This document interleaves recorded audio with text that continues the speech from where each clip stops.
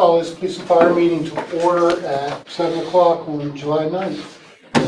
Uh, Ms. Barbie, do you want to talk about some code issues first? That way,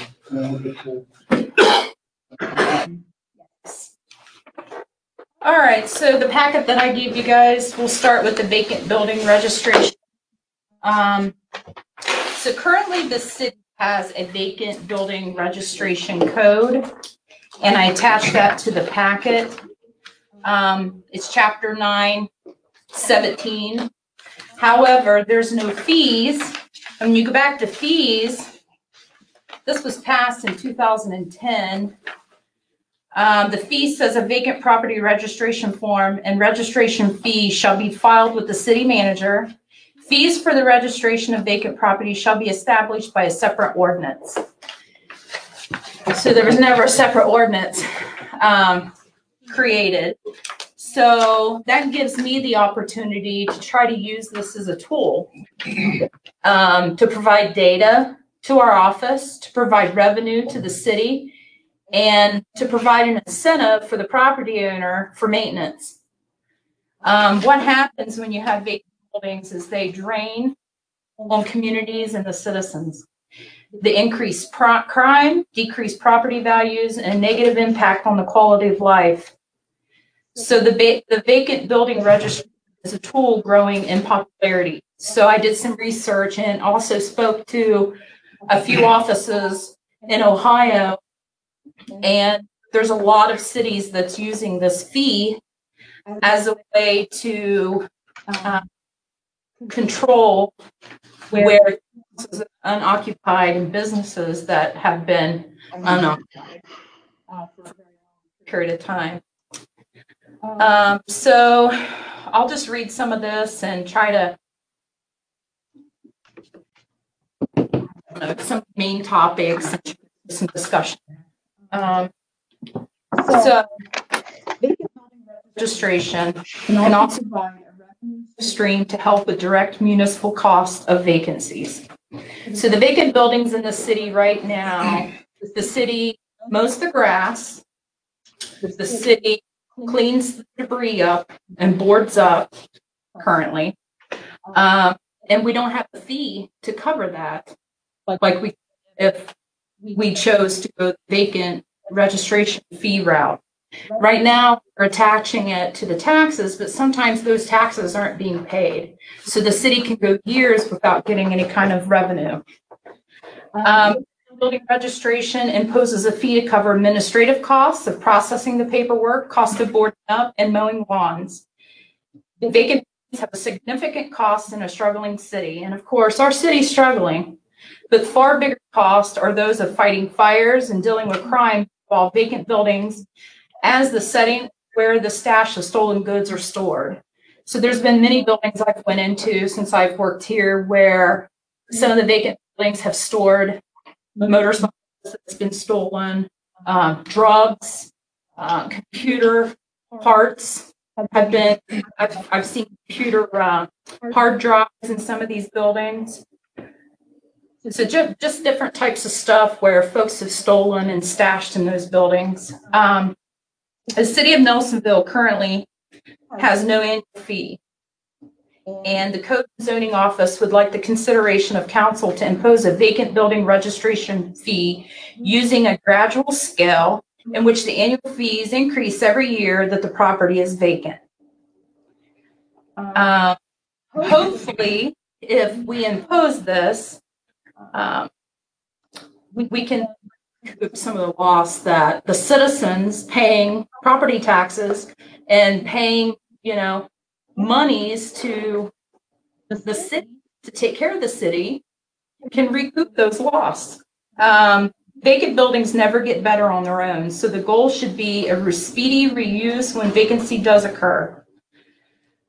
And then it talks about the reasons why maybe buildings are vacant in the city. Um, and then on the back page, I have the fees.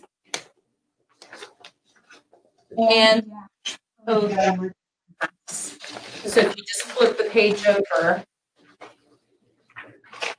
So the fees described in this section are established in order to defray the costs to the city government community as a whole related to the health, safety, and of structures which remain vacant for a period of time, including but not limited to administrative costs for registering and processing the vacant buildings.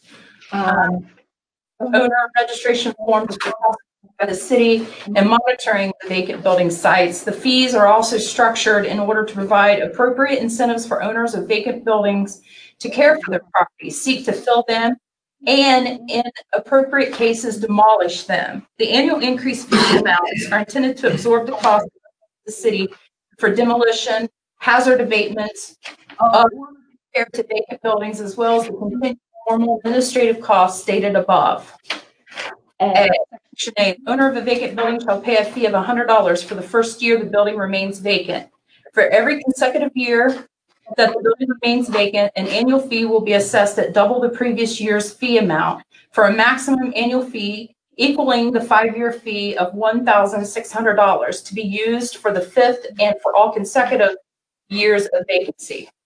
The first annual fee shall be paid at the time the building is registered. If the owner successfully restores the building to occupancy or demolishes it in accordance with the applicable city code during the first year following registration and is renewed in a timely fashion, and there has been no violation associated the fee shall be refunded less an administrative charge equal to five percent of the amount refunded.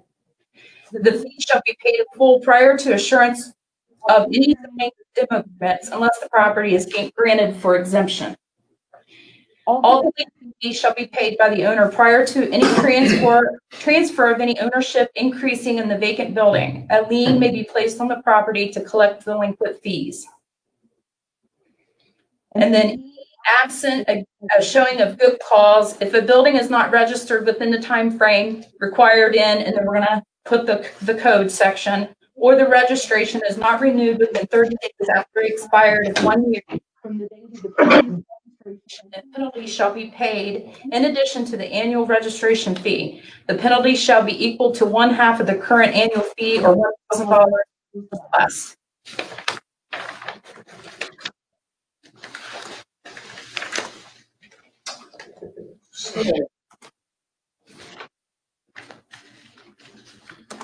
Once you see how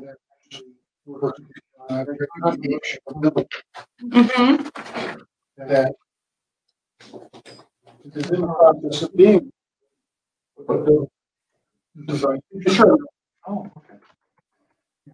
Already, hold up, it's a Sherman building. And you it's renovated. It's a slow process.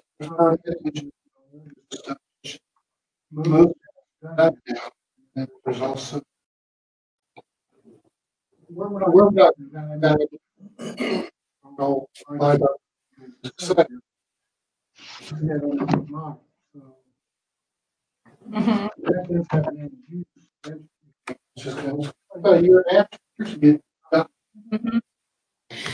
The real goal is code compliance and prevention of further decline of any unoccupied buildings. Um, so I think ramping up the pressure of vacant building registration fee helps provide an incentive for the owner to figure out what their problem is. Um, I think it gives also the owner a shove in the direction of selling the building if they can't afford to take care of the building. Um, I can give many examples and give many of the citizens complaints in the city that they're just tired of living the side of a building that is vacant and there's crime. There's, the grass is five foot tall. Um, and, let's be honest, the city doesn't have the money to pay to take care of these buildings. I mean, code enforcement has a very limited budget currently to do board up, uh, to do mowing. Right now, we have about twenty-two code enforcement grass properties. We we don't have a lot of money for that. As a matter of fact, when I it to the taxes, a lot of times we don't even see that come back to the, to the city. So we're losing lots and lots of money. Um, I think this encourages putting this, and it's a substantial amount, I get that. But putting that on the backs of, putting a vacant building backs of the taxpayers isn't fair when it should the property owner that is paying the city to take care of it or encourage them to get rid of it if they're holding it for a later date, thinking they're going to make money if they sell it, thinking, you know, I buys a building, no, it's sold for ten thousand dollars a rental building. They're going to get go into the rental business, right? They get, they start working on the building and they realize I don't have the money to take care of this, so we're just going to let it sit here for about five years, and then grass you know, we get windows busted out, we get crime, it might catch on fire. So then we gotta, like, the, the trailers down on Tote Drive, those are burnt trailers set for over a year that's right on the bike path and nothing. The city doesn't have money to take care of them. I think that if we put this on the back of the property owners, then they'll take responsibility. And they're So, I'm not residential, yes. okay. I'm talking ab- across the board, residential, commercial, any building that's sitting vacant for any length of time. I- I think we need to address the blight, and this is a, a lot of cities are using it. Another thing people are doing is they get in the business, they buy a house, they get in the rental business. And they say, you know what, I don't want to deal with the tenants anymore. They tear up my house, and I want to deal with it. I'm just going to sit. And then sell to somebody that's willing to use the property to rent. Um, and, and I'm seeing and I'm getting more and more citizen complaints about these vacant buildings. They're tired of the vacant buildings um, in their neighborhood and all the, you know, rats, possums. I get so many calls about buildings just left vacant and not being taken care of. Mm-hmm. And I think that this money helps the city be able to do more with the buildings. And if, if, if they, has entered the conference. maybe they're, like, I'm not paying the city this much money, I'm gonna sell it. And then somebody will get it useful to so, and I know it's a huge topic. I know that, you know, there's a lot at stake, but I'm just talking to folks that call me and say, I'm tired of this vacant building in my neighborhood. It's causing a lot of problems. Well. What about? Now's the time. Because it's hard to fill some of these spaces. So, uh, we ran a- Earning, you know, earning pet act. So, So the city's struggling during COVID as well, but we're Oh, I know still cities- mowing the grass. We're still boarding up the, you know, well, we're okay. still doing what's right for the community. Yeah, I mean, before the city, like, said, at twenty-two properties, that'd be eleven hundred dollars per cut. The city used to- uh, Now, it's, it's- I mean, that was a lot of money. I mean, Well, that's each cut. But Every time you swipe. Right. I assess that to the property taxes and we just got our, um, our monies for the second, I think the second half of the year, Taylor was telling me. And I asked how much of that was code enforcement assessments and it was very little. Almost, I don't even think it was a hundred dollars from last year's grass mowing. and all that. Yeah, and we paid how much to the guy last year? He owns the field up? Well, it hasn't been moved. Oak Street. Between Clinton, Oak, Oak is all the way up the top. Right There's three lots. There's a field. at the top of where Clinton meets Oak. But no, on the other end. By Grover. Got it. There's, they're, they're not that tall.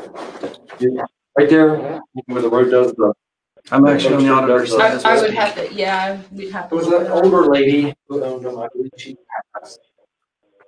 Habitat talked about getting, they're empty. There was trailers, I don't know, trailers. So, I'm sorry, when he's looking, I, I just want to say that we have currently two vacant registrations for this year in the city. Only two. They're supposed to renew every year. We've only had two properties register their property as vacant. So our current, our current code is not encouraging people to register their properties. As a matter of fact, they're avoiding the matter. And there's no fee attached to it, so why does it even matter? And, and part of that is to, to register, you, you have to have insurance on your property, even if it's vacant. And that property insurance is way more expensive than, you know, if it's occupied. Yeah. So really right now, our program is not working. It's not helping us with our issues with blight. So my goal for 2020 is to address blight, condemned buildings, get this vacant registration um, working for the city. Because right now, it's not really working for us. It's a code that's only giving a couple people, you know, the honest people are registering their buildings. The other folks are like, you know, the code reads six months vacant. It needs to be registered with the city. And you guys can go around the city and see all the vacant buildings. And there, there's only two that's, that's registered. So that's something else I want to say as well. Uh, we need to use, we need to use the tools that we have, add on to the tools, make sure there's no loopholes where people can say, well, here's a loophole, I'm gonna, I'm gonna work this angle and try to get out of my responsibility of doing what I need to do. And then it goes on the backs of the citizens that have their properties kept up, that care about their community. You know? So, I mean,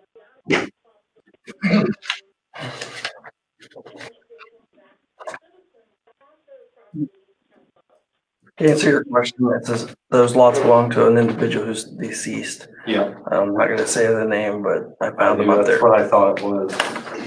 Uh, This tool also will only work if I enforce it. I've been hired to do my job as a code officer and enforce the city code, right? And you guys know that I'm doing that. So if this passes, it will be enforced, I promise. Okay. Um, and The other thing I know about is like our square, a bunch of vacant spaces. And until we come up with a plan, bring them. I,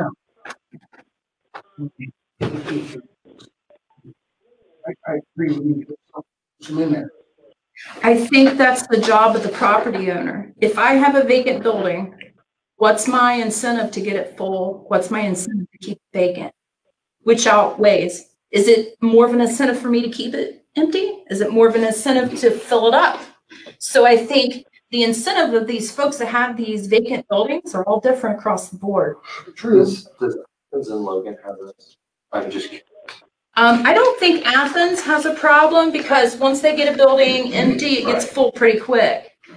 You know, Athens, I think it's hard to compare Nelsonville to Athens with this. it is, you can. No, I was just curious. to see. It's a vibrant town, That's my question. has declined over the years. And I think filling these buildings up will create a more vibrant town. Absolutely.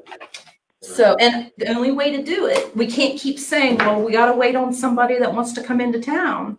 Those property owners need to be out trying to find individuals and do what needs to take to, and in order to do that, you have to have some pressure, I think, on some of the property owners to say, okay, I don't wanna pay sixteen hundred dollars on the fifth year my building's vacant to the city.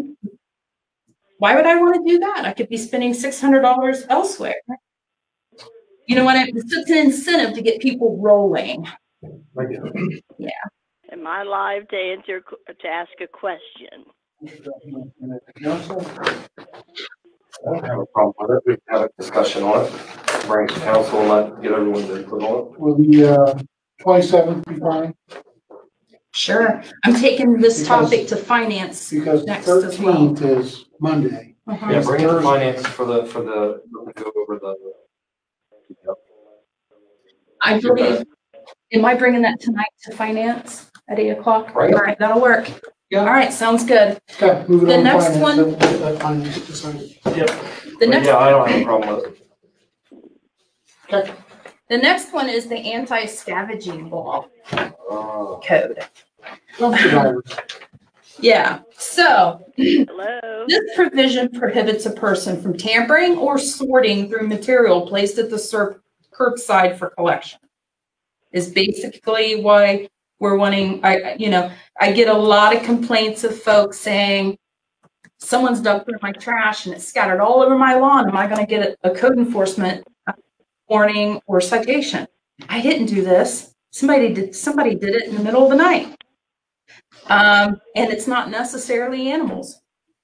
So what this, there's two options, and I wrote out both options um, with different wording. Um, one, the first option is no person shall scavenge or remove any part of rubbish or recyclable material from rubbish or recyclable material set out for pickup at any residence, not his or her own, within the city unless given permission to do so by the person occupying or having charge of such premise. Uh, whosoever violates this is guilty of scavenging, a minor misdemeanor, and upon conviction thereof shall be fined in the amount not exceeding one hundred and fifty dollars for each violation. Number two option is no person other than an employee of the city or waste contract re- retained by the city in performance of their duties shall tamper with or sort through garbage, refuge, or recyclable materials placed outside for collection. The reason why I did two options was because there was multiple towns that had it worded differently. So, um, True, 'cause what- what do you think somebody's gonna say, it's caught scavenging? Well, I have your permission. yeah, well, they'll have to prove that from the property owner that they had their permission. Because a lot of the property owners are like, I didn't give that person permission to rummage through my dumpster. And we see dumpsters, it, uh, I hate to call it dumpster diving, but it is. We see dumpster diving a lot. And say, I don't know, Tony, can I use you as an example? Sure. At your business, if you have a I have dumpster, photos.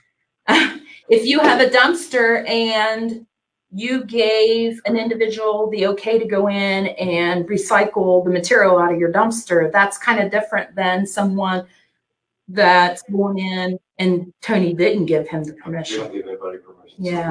Because that becomes a liability on you if they get hurt in that dumpster. Yeah, so, well, and like I said, we get a multitude of calls all the time. What am I gonna do? What can I do?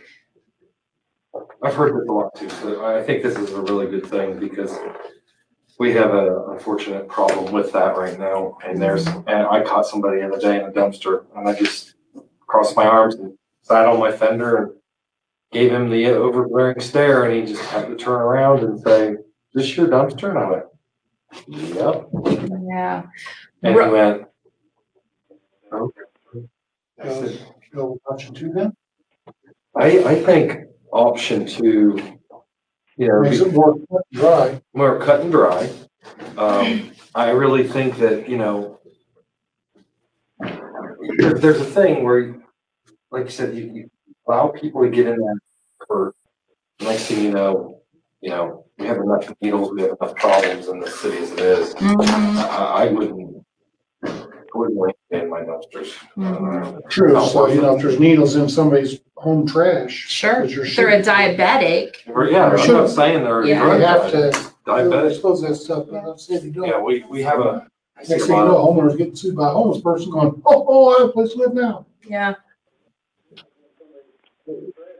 Right now, I think the current practice in the city is homeowners are told that they have to have a photo. Right. They have to have proof that the individual was in their trash. Um, And well, with the scavenging law, it'd be the same thing. They would have to see who's in there. Right, but that also gives an officer, because I, I, Oh, it gives a- presence. It gives an officer authority when he sees somebody getting in a dumpster at one o'clock in the morning at the car wash down from me, Mhm, which I see them all the time, yelled at them before. mhm. And they just look at you like, you know what? Whatever. Yeah. Yeah, we've got people that, I've talked to Rumpke and it's been reported to me that there's been multiple times that Rumpke has pulled up to the dumpster People. and there's been people in there and they've picked it up to, lift it up to dispose of it in the back of the truck and there's someone jumping out the side. We have a call guy. We're uh, able to take a break and see if we can get it to actually come on. Caller, are you able to hear us? Yes.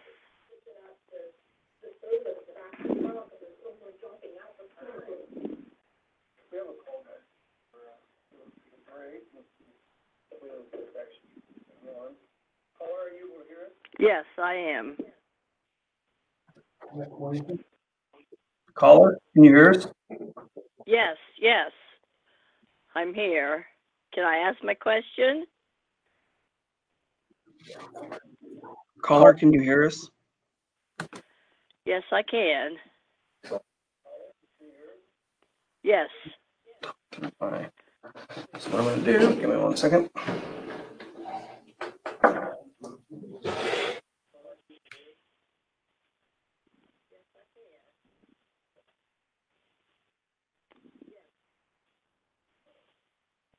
Okay, can I start my question? Well, where is everybody?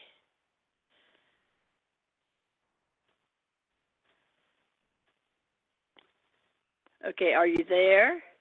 Can I start my question? Well, I will try it. Where did it go?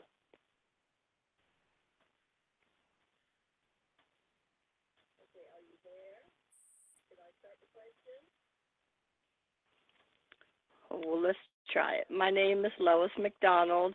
I live at 1024 Poplar Street. I've lived here for 71 years. My biggest complaint is the empty house. The Freer Godenswagger house has been. Go ahead with your question, ma'am. Yes, yes. My name is Lois McDonald, 1024 Poplar Street. I've been here for 71 years, and we I constantly have issues with 1031. It's been vacant for seven years, and I'm wondering. The weeds are as high as the roof. There's multiple needles from the meth heads. My property value's going down. I bought a security camera. My neighbor has found snakes. I don't like that. Why could, what can we do about this property?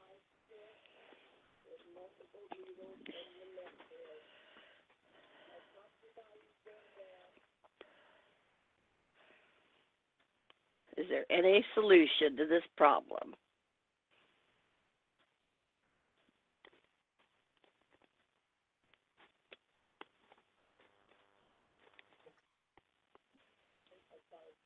new law enforcement. help with our problem With, with, with drugs. enforcement is working on condemning uh, related properties. And has the full support of the prosecuting office, our city manager and council as well as the police department. So these are things that are getting caught up that were neglected for years. Can I mention something? Lois, um, if Yeah. you would come in in the morning and do a records request on that property, I can give you uh, information at that point on the process of what code's doing with that property. Okay. It's been seven years and it's getting it's getting nerve wracking, so I will do that, Becky. She's listening. This is what she's hearing. That's what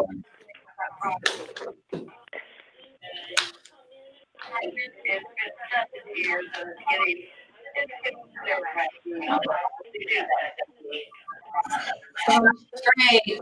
I'll talk to you in the morning. Okay, thank you.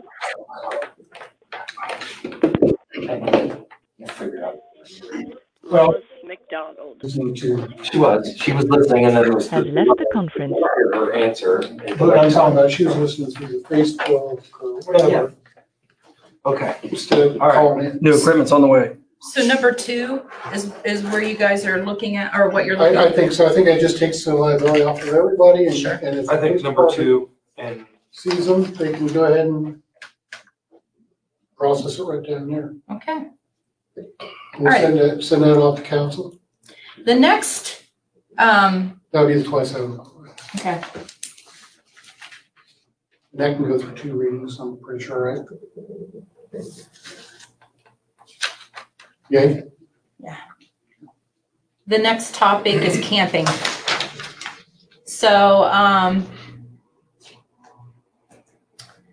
the term camp or camping shall mean the use of public property as a temporary or placement, permanent placement of dwelling, lodging, or residence, or as a living accommodation at any time, or the sojourn indicated of camping may include, but not limited to, storage of personal belongings, carrying on cooking activities, or making a fire in an unauthorized area, or any of these activities in combination with one another, or in com- combination with either sleeping or making preparations to sleep, including the laying down of bedding for the purpose of sleeping. Um, a, it shall be unlawful for any person to camp or dwell in tents, shacks, automobiles, carts, recreational vehicles, campers, or any other temporary shelter for the purpose of overnight camping on any streets, sidewalks, city park facility, or other public-owned places to the determinant of public travel or convenience, vacant lot, part or plot of land except designated area within the corporation limits of the city.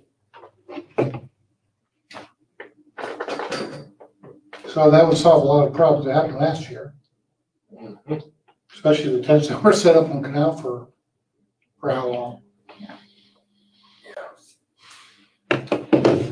So that should do with that one as well. So s- another, um, another piece to that is we've got a couple folks in the area that's wanting to build camping facilities. So currently, right now, I think Bernie Roll has a campground. Mhm. Um, Hocking College is in the process of creating a campground. Um, and they're really both good locations because they're not next to the square or in the heart of the They're each end town. the town. Right. Um, I think if No, that's a little different. So, you know, so they'll get their campground set up legally and. yeah, Yeah, absolutely. And I think if the city in the future goes toward, um, four-wheeler or ATV friendly, then this will be also an outlet for tou- tourists that are coming in to ride their ATVs. A lot of them have campers. Through our city streets? Well, I'm saying that about the camping, not about, I'm saying if it becomes four-wheeler friendly. So this Four-wheel isn't, friendly, They can, they can trailer them in. if the town in the future becomes four-wheeler friendly, then this gives a area where those folks that bring in fifty thousand dollars worth of four-wheelers can then put their sixty thousand dollar camper on the lot. I think hon- honestly, um, I think there's something that we should look at, because a lot of the, all the stuff that we had going on last year was actually on privately owned land. Was, You know, and that was, a that was a huge issue at some places, and we all know where they're at. Like, We don't have to s- even give descriptions. You know, it's one of those things where, I mean, I hate to be this strict, right? Just, just an idea. I mean, I don't think there should be a tent set up in the city for more than seventy-two hours. I mean, unless it's at a designated campground area. Well, to add, um, let's take ATVs out of the picture, if you will, and let's talk about bicycles. Uh, the trailhead for the Bailey's Trail is expected to open this fall in Doanville. And uh, currently, the only opening is in Chauncey right now, and Chauncey's already seeing um, a lot of traffic and, and folks coming out there and filling up parking lots and everything else. So it's it's really starting to take off. And uh, you know, we on the ORCA board, we believe that this is going to be a destination for many people out of state. So providing places to camp would be a very wise or or a hotel in the Eagles building or a hotel period in town would be really good. Oh my God, Jesus. Good plug. And of course, a lot of people have campers and a lot of ATV folks and bicycle people. I've talked to them. They've come into the city building. They've asked, hey, is there a place where I can, next year, if I want to bring my camper and camp out, is there a campground here? Because a lot of people with the COVID stuff, a lot of folks aren't renting motels or staying in condos. They're, you know, what was it? I read an article that camper sales is skyrocketed since the COVID. Um, and let's be honest, it's a lot cheaper to have a camper and go on vacation than it is to rent a condo and safer, you know, and, and you can take your pets or whatever, but Do not discourage the hotel people, because you know, it's a very nice place to stay. yeah. Not right now. There is options and there is room to add B, C clause, B, you know, Yeah, to add to this. I, I like the start. It it looks really good. Yeah, so. Great. Senator Great. Council. And that's it, folks. Oh gosh. That's it. Sorry. Oh, don't get her started. She said this enough. All right, All right, she, she leaves you a little meat on the bone. Well, it's, uh, it's been an eventful two weeks, um, but productive nonetheless. Um, I've been spending most of my time trying to, and, and everybody's been great. All the department heads, Scott's been, been amazing. Uh, Becky's been great. Uh, Chief Harry Barber's been great. Everybody's really, I'm trying to bridge the gaps that was, uh, I think, uh, needed to be com- bridged for communication purposes to work together. I think we're slowly, you know, that's starting to happen. I mean, we're, the departments are interacting, I think, what I'm being told, a lot more than what they ever had in the past. Um, we have, you know, I'm, I'm trying to implement some new ideas. Well, um, they're not original ideas overall in law enforcement. They're what I consider basic law enforcement functions that I think was a little bit lacking with the Nelsonville Police Department. Um, we have two new hires on the way. I'm very excited about them. They, uh, I'm, I'm familiar with both these individuals. They're both young, energetic, um, very professionally minded uh, young men. Uh, we've also got in um, approximately two dozen applications, and I've gotten uh, numerous other texts and uh, phone calls from other people that hasn't actually applied yet, but has expressed serious interest. Uh, so you know, there's a good candidate pool out there. So I'm excited about that. Uh, I think we're going to be able to have an opportunity to pick some really qualified people. Uh, I know that uh, Becky's working on, you know, setting up eventually here, you know, sometime in the very near future, the, the examinations through the civil service, uh, things like that. So that's exciting. right now, I'm also working. We've worked in the two weeks. We've worked with. We've scheduled a, a. I'm going to say an enforcement action with uh, the prosecutor's office, with Keller Blackburn's office, and uh, his investigators. We've been working with adult parole authorities. We've made several arrests with them in the last, you know, in the two weeks I've been here. Um, we've also made several independent drug arrests. Um, so I like the way that we're heading. It's just uh, getting guys used to it, creating a little bit of a new culture, a new attitude, a different mindset, um, being much more proactive as opposed to reactive. I think the guys have been really receptive and are eager to do a lot of things that I think that uh, has been neglected in the past. Uh, there seems to be a little bit of a fresh idea and a, a little bit of exuberance in them, uh, so I'm excited about that. Um, I've been out riding with the guys. I've been trying to do everything I can to get out there with them and, and meet them and get to know them individually, and them get, get to know me as well. Uh, let them know what I'm expecting of them. Put it all out there to them. We're in the process of cleaning from top to bottom the entire office and organizing and inventorying. Uh, office of uh, in charge of evidence room, things of that nature, training. All that has to be you know, like reassigned to other people. So I'm, I'm in the process of doing that. Um, we're kind of going to a little more of a, in my opinion, a little more of a professional looking uniform. Um, it's, it's going to be modified from what it currently is. Uh, I think that's, you know, a necessity. That's a good step in the right direction. Uh, I think it's more practical and professional looking as opposed to the way the other ones looked was a little more tactically minded. Um, so I'm excited about that. Again, I, um, still have issues. You know, one of the things that Scott and I has been working on is, you know, there's a there's a disconnect there with the dispatching at the Nelsonville Police Department. That's one of the biggest problems that I, that I truly see initially because my biggest fear is calls for service. I'm spending most of my days when I'm sitting, and when I'm in my office cleaning and organizing and inventorying, answering telephone calls that's coming in. And I've been encouraging guys, the officers, to be out and highly visible in patrol to not be in the office as much unless there's a need for them to be there to meet with somebody to take a complaint. Um, but that phone rings constantly. Um, and I'm afraid what I'm finding is in a short period of time is we'll get a call back and somebody will say, well, you know, I've waited on you, or I'll go to the call with the officer. Like we'll check the voicemail and they're like, I called an hour and a half ago. And well, I can assure them that, well, those officers has been on calls the entire hour and a half, but we didn't get it. They didn't have an opportunity to get that call because there was nobody dispatching them other than through voicemail. So when we roll in there, it looks like we just waited an hour and a half. And so I can see a little bit of the public's frustration, and I think a lot of it's justified. I, I would like to figure out a solution to that to where somebody could be accountable for the, answering the phones, somebody, non-officers, and then could be dispatched in a proper manner in a timely fashion. Um, I think that's a, a definitely a big issue with uh, providing a little bit of better public service to the people of Nelsonville. I think they deserve that um, because a lot of times officers are getting criticized, and, and I can assure you, a lot of times it's not their fault. So those are things though that need corrected. In my opinion, that's one thing that I know Scott and I is both trying to come up with some solutions on. We've got some ideas out there, and there's some some things in the works. Um, again, cleaning the office, getting the office, you know, with some better equipment, some things like that. The vehicles are very nice. Um, we're trying to ramp up taking care of them and having them, you know, well taken care of. And of course, the maintenance has always been done, but as far as the appearance of them, um, I'm getting some training set up.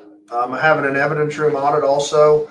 Uh, from the evidence that basically the evidence room is I inherited it. I'm trying to get it set up to where somebody's an independent agency is going to come in and do a complete audit from top to bottom so we can be assured that everything's that needs to be there is supposed to be there. I'm inventorying all of our current equipment uh, to find out what we have and what we don't have. If there's missing things, I want them documented, things like that. Um, and I'm just trying to set up a lot of things. Uh, I'm creating a storage room. We're taking some the storage of old records from the Nelsonville Police Department. We're moving them over to where the street department was in one of them vacant rooms. It's it's a nice storage room. Uh, and that'll give us a little bit more space that I'm going to keep like equipment and everything in. So that's that's going to be nice. Um, really, uh, I'm, I got a meeting with. I've been meeting. I've talked with all the prosecutor's office uh, attorneys, uh, other law enforcement agencies in the area. You know, Sheriff Smith's been great.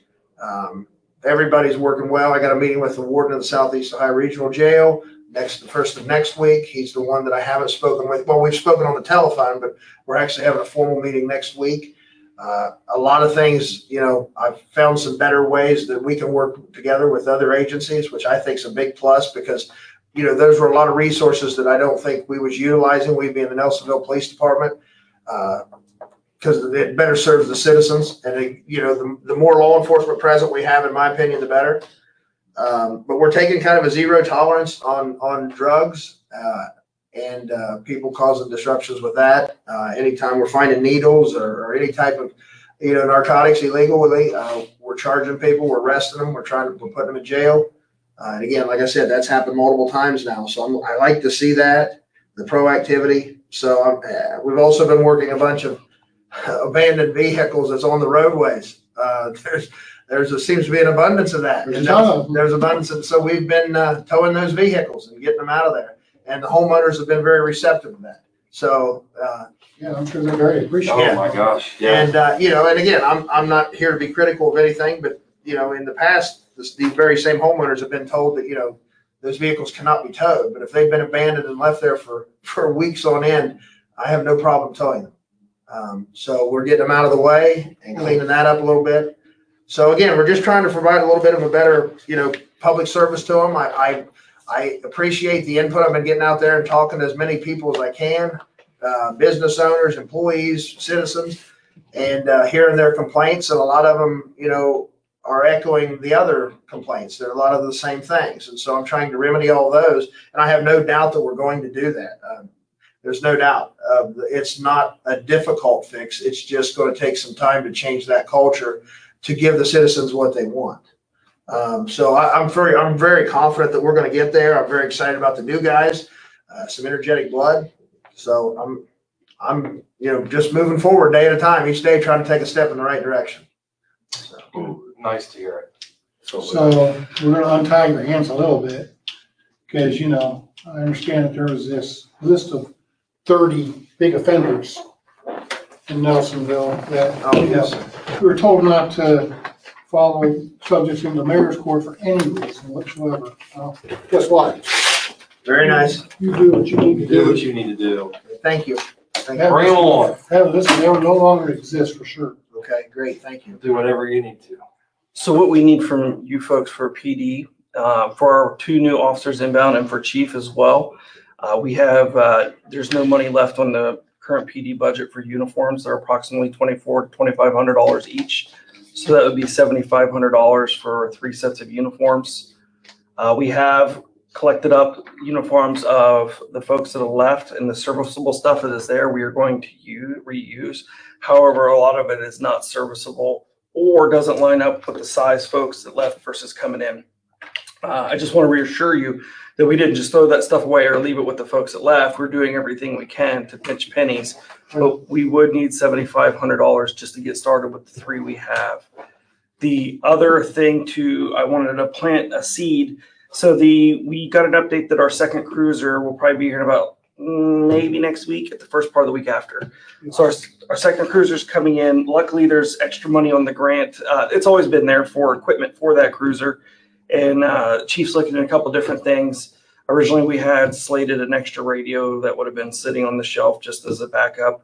Um, we talked and it doesn't seem to be a very common problem to lose radio. So, uh, we're gonna look at, he's gonna look at other options that'll work good for, uh, the cruiser, whether it be a, a laser radar or whatever, Yeah, whatever do he need needs. radar that works.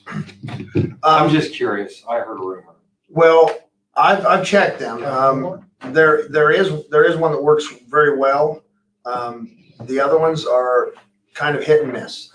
So one of the things that I was checking is I was doing some pricing, talking to some different companies the last couple of days uh, on pricing and essentially with the money that we believe is still there in the grant, we could actually equip um, each one of the, including the new vehicle that's coming in, the cruiser, all with new radars. Nice. Um, so, you know, that would give, and again, if me- with me encouraging, you know, a little more traffic enforcement, uh, I think that would be, be a step in the right direction. Agreed. So the follow on to that with getting the second new cruiser in, the original plan is always to be, uh, to take the oldest cruiser Yeah. and make that the chief's vehicle. That was pre smashing the last one through a building and a porch. So, uh, we still have the previous chief's vehicle, but it is very finicky to say the least.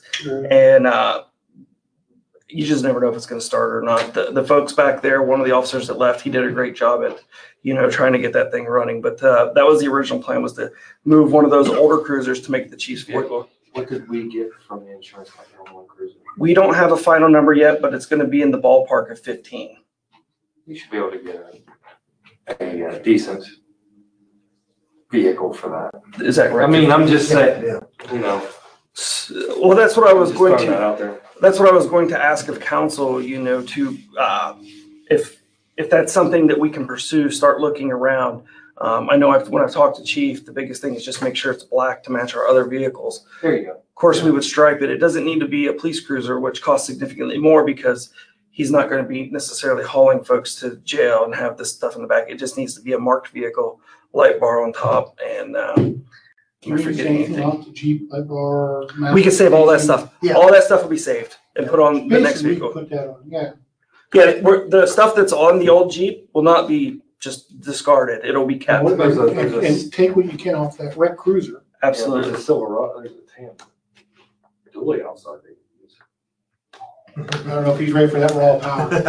I've actually talked to a couple dealerships already, just kind of uh, socializing our idea, and we've gotten uh, we, we got a decent response, or I mean, actually a really good response and just a bunch of different vehicles, you know, to choose If you- from. If you talk to Taylor, if you talk to Hugh White, call Billy Baggert up in Lancaster. Don't, just call. Roger that. I just wanted to bring that to you folks.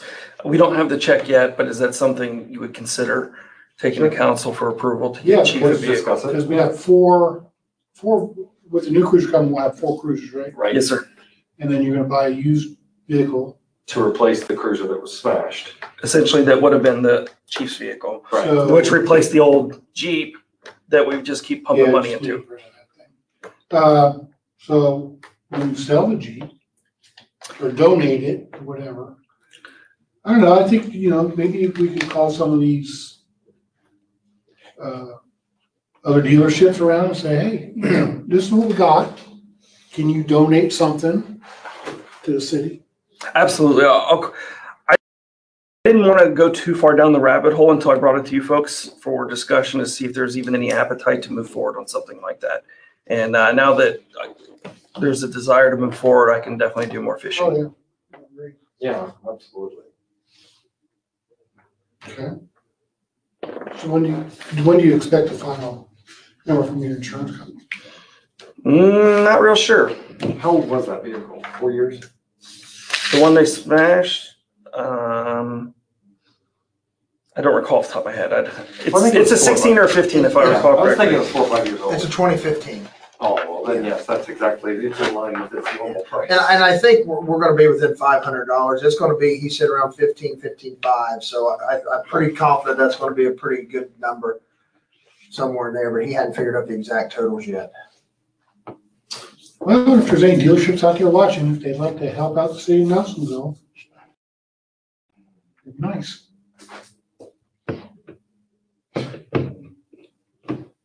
We can give him the red coat truck. Just hope you ain't gotta go up a hill. Hope he's not chasing someone. Uh, so I don't, Chief, am I forgetting anything that we needed to request funds for at this time? No, sir. So that was just basically seventy-five hundred for Uniforms. uniforms. Uh, also keep in mind his operating budget is extremely low due to paying the forty thousand dollar body cams that we had to go back to make the annual payment of seventy, seven thousand or whatever it was. That should have only been seven, yeah, so that should only be a seven thousand dollar bill though. Well, the budget, correct, it was, I was just highlighting the total expense and, uh, the seven thousand came from three different line items within the budget already. And unfortunately, the budget, uh, we're only halfway through the year, but it's been largely exhausted in many different ways. Uh, specifically, I believe Taylor sent an email about the part-time budget and needing to move monies into there. Um, for- but it was not adding from anything, it was pulling from within the police budget over to the part-time. Uh, that one has been eighty or eighty-five percent exhausted, that Yes. funding line already. So, and then, of course, the continuous overtime question, which I assure you is absolutely being addressed. Well, it's tough. Rome wasn't built in a day. Uh, so basically, also got a seventy-five hundred dollar appropriation. And then We'll take it she's to gonna bring, finance, okay, yeah, all right. I'm Fine with that. and then what do you think you need it for operation? Because that can't come out of capital improvement, that's gonna have to go through finance, not probably come out of general fund.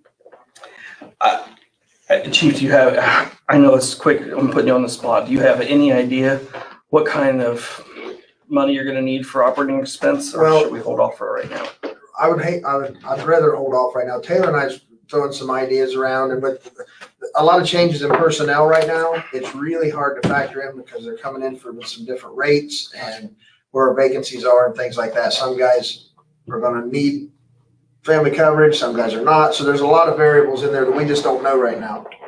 Okay. But I am trying to work on it. Absolutely. Okay, does anybody have anything else? Harry, you got anything you wanna add? No, I'm good. Okay. We'll call this meeting to an end then at seven fifty-five. Five minutes till finance meeting.